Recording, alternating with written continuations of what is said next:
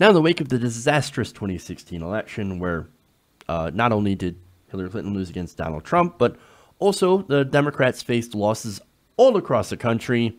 Uh, and during the Obama years of over a thousand seats, the DNC is facing a, a big, big problem. They're running out of money.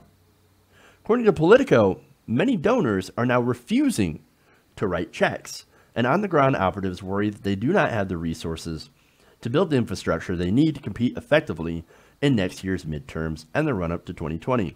Now, what's interesting about this is while the DNC is not getting a lot of money, the individual candidates actually are. Individual candidates are facing record hauls. But as far as them giving to the DNC, no. The people, uh, people, uh, donors, large and small, are, uh, according to Jane Kleeb, who's ne- Nebraska Party chair, quote, are so over the party. and look, I can understand why. How do you support a party establishment that has shown so much resistance to actual change? And their their whole refusal to address the reasons why they lost so many seats. Again, not during uh, not just during the Obama years, but in 2016 as well. I mean, you can't just polish up a turd and expect everyone to embrace it especially the small donors. What you need is you need real change. And unfortunately, uh, Tom Perez was installed as a bulwark against that change.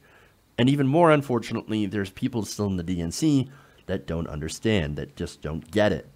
One told Politico that the DNC reboot under, uh, under Perez has taken longer than anticipated, in part because of the sheer scale of the undertaking. That is set of uh, a, a range of party operatives, donors, and elected officials. They also say it's a very legitimate concern, not being able to raise money. Interesting. Um, now, speaking of infrastructure, right? Well, we recently just had a purge of Bernie Sanders people from the DNC who are actually going to help you to be able to do that. Not only did they purge uh, Bernie people from the DNC, they also appointed Hillary Clinton people to positions of power, especially when it comes to managing the money. And speaking of the money, Let's talk about that. Quote, the financial challenges reflect a greater struggle at a committee led by the chairman who is new to party politics. Oh, he's new. So, so then why did you put him there? why appoint him if he's so new and doesn't know what he's doing? Maybe they should have picked Keith Ellison, who was also running. But anyway, they continue. And on a steep learning curve at a time when national Democrats are still searching for an identity after a historic loss. And it's not just donors who are staying away as the Perez led group promises an expansive new set of new investments and innovations. The party's old leaders, led by former President Barack Obama, have kept their involvement to a minimum as well. Again, that's actually not true. Tom Perez is Obama's guy. Obama's like, get, get this guy in there. We've got to stop Keith Ellison. We've got to stop the Bernie people. We have to make sure the establishment remains in charge of the DNC. So, so get in there, Tom. Get in there, Tom. No, President Barack Obama was definitely involved in the DNC, but later on they're going to go on and blame Obama by saying, well, he he hasn't helped us raise enough money. He hasn't been doing these DNC events like we like we used to because he was the big star that they would always trot out to raise money.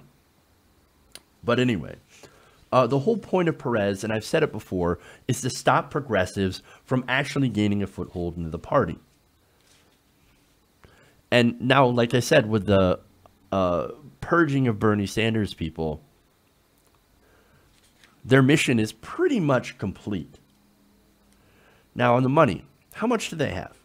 Well, in the beginning of October, the DNC had just $7 million in its main account, which is only there to cover its central responsibilities and salaries. I wonder if that goes, uh, if that counts the paid consultants too, that did such a wonderful, wonderful job in 2016, as well as some of the special elections, like the Ossoff race in Georgia.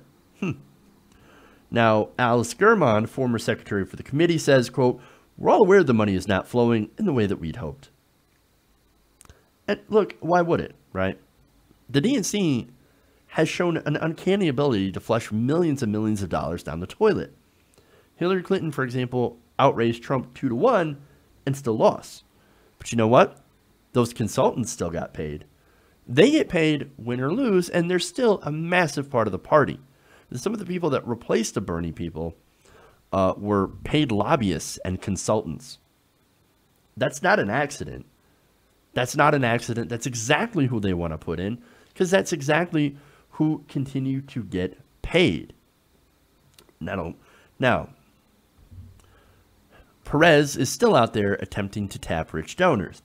Now, Perez recently hit fundraising spots like Martha's Vineyard this summer and swung through San Francisco and Seattle in recent weeks, according to Democrats familiar with the events. Perez is also visiting secondary money destinations, including a, pan, a planned stop in North Carolina later this month. Because again, well, we've got to go and try to beg rich donors for money because we're not getting any sort of donations anywhere else. We're not getting it from the small donors. We're not getting it from the medium donors. We've got to beg the rich donors. Please help us out. We're so broke. Well, how has he been uh, greeted by these rich donors? Party officials involved in fundraising say donors repeatedly turned them away with a try again next year, especially since it became clear that there won't be an official party autopsy from 2016. No party autopsy. No, it's funny because uh, when the Republicans lost in 2012, they came out with a, an incredibly scathing party autopsy of their own party. Hey, that said, hey, we need to go and appeal to Latinos. You know, we're being, uh, we can't rely on just white so-called working class people. Uh, what we need is we need to expand the party. This is what we did wrong. Now, did we see that from the Democrats? No. The closest thing is Hillary Clinton going out there and saying, eh, Bernie Russia. Is Bernie Sanders slash Russia. Uh, that that apparently seems to be their official, unofficial, uh, party autopsy, which is complete bull. No, we're never going to get an actual party autopsy because the Democrats can't admit that they actually did anything wrong during the election. Uh, progressives were like, no, you should go, you should go left. That's where the mood of the country is. We are uh, in a very populist mood we're very angry at the establishment, go that way. Hey, we have a candidate that embodies that right now in Bernie Sanders. And Democrats and the super delegates, it's like, nah, yeah, yeah, we'll take we'll take that under advisement. oh God, we lost to Donald Trump. How did that happen? No, it must have been the Bernie Bros, and it must have been Russia. Uh, that's it. That's their answer. It, it's it's ridiculous. It's ridiculous. Not only that, but they also say that, uh, as far as the donors are saying, that Democrat Jon Ossoff's loss in his much hyped special congressional election in Atlanta suburbs also depressed donor enthusiasm. So now they talk to actual donors and, and they're uh, getting a, a, sense of what they think. Uh, now, Northern California attorney Guy Saperstein, part owner of the Oakland A's and a prominent funder of progressive causes and candidates, says, quote, I made it pretty clear that I don't want to donate to the DNC, DCCC, or the Senate counterpart, so they have not called me. He also says you can't just go in, uh, you can't just go to donors and say, uh, support me, I'm the DNC. You have to rebuild the credibility, and that's according to a longtime Democratic donor and DNC member. Now, that, of course, is going to be really, really hard because in order to, uh, to rebuild credibility, you have to have trust. Now, in order to actually do that, you have to first admit that you made a mistake and that you actually want to change. Recent actions in the DNC show that no, they don't want to change. Nobody trusts the DNC because of what they did under Debbie Wasserman Schultz.